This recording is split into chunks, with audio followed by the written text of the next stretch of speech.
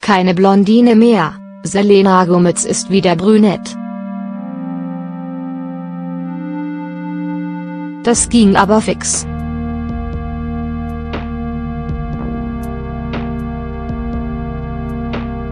Eigentlich gingen Fans fest davon aus, Selena Gomez, 25, würde mit ihrer neuen Frisur eine neue einleiten.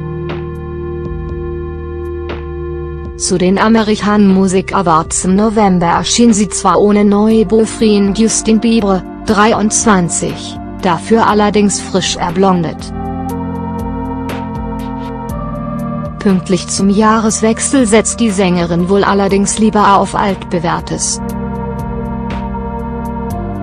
Nur etwas mehr als einen Monat nach ihrer großen Veränderung ist der Blonzing wieder vorbei das ihrer Naturhaarfarbe nicht für immer den Rücken kehren würde, dürfte jedem eingefleischten Fan klar gewesen sein. Schließlich gehört ihre dunkle Mähne unweigerlich zu ihren größten Markenzeichen.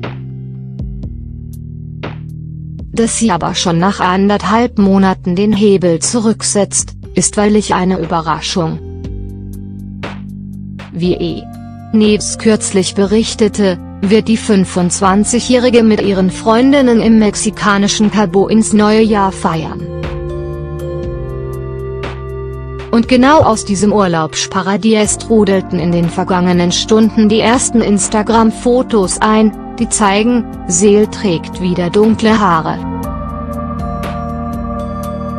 Aber noch viel interessanter, nach Weihnachten scheint die gebürtige Texanerin nun auch den Jahresabschluss ohne ihre bessere Hälfte zu feiern.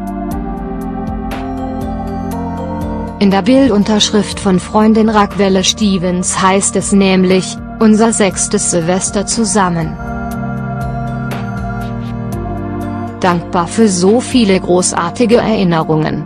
Von fehlt hingegen jede Spur, er soll sich derzeit in seiner Heimat Kanada aufhalten.